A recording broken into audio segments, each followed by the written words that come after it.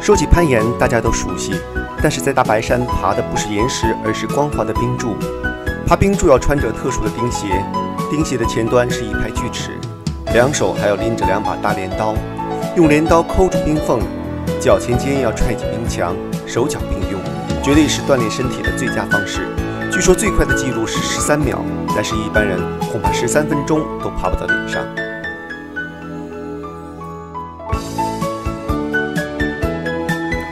做完了全身运动，不妨坐上马拉雪橇，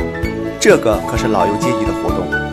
听着清脆的马铃声，响在寂静的树林中、旷野上，同时欣赏着如童话般的白雪世界，中间还可以拉着马缰绳，体验一下驾驶马车的乐趣。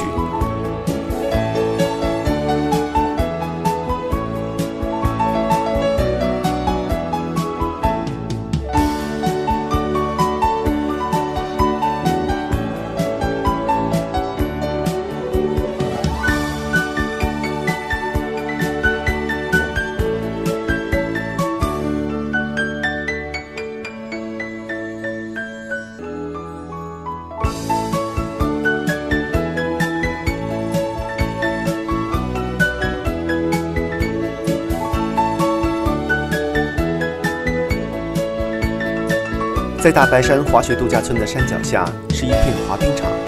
晚上都会聚集了许多人在这里滑冰、打冰球，或者您可以跟朋友、家人一起围坐在暖暖的火炉旁边，捧上一杯咖啡，聊聊天儿，看看美丽的夜景。每周六晚上八点十五分，这里还有烟花表演。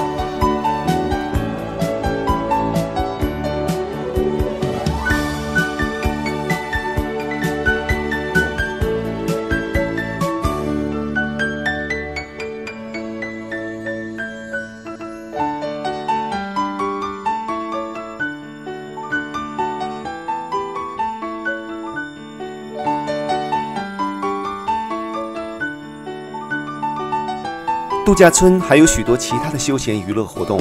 比如游戏机、台球、乒乓球、SPA，餐厅和酒吧也会开到很晚。晚上这里都会聚集许多年轻人，还会有乐队过来表演。